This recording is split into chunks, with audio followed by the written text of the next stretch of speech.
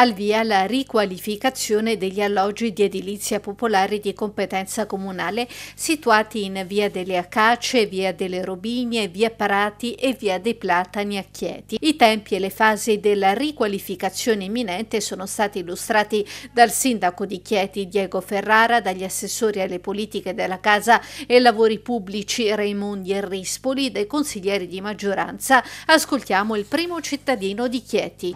Oggi presenteremo un progetto appunto di 1.800.000 euro per la riqualificazione delle case eh, popolari di questa zona che eh, appunto eh, riqualificheranno eh, la qualità eh, delle, di queste abitazioni e eh, chiaramente di chi ne occupa la posizione da, da, anni.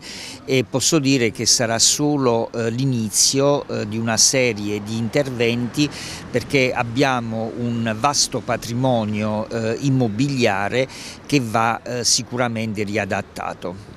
All'incirca quante palazzine sono e di quante famiglie si tratta? Allora sono sei palazzine, sono sei palazzine e eh, penso che eh, il numero eh, totale di eh, famiglie eh, sono almeno una sessantina.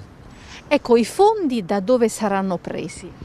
Sono presi eh, da fondi ministeriali per la riqualificazione eh, diciamo, eh, urbana. Quando inizieranno i lavori? I lavori inizieranno sicuramente prima eh, della fine dell'anno.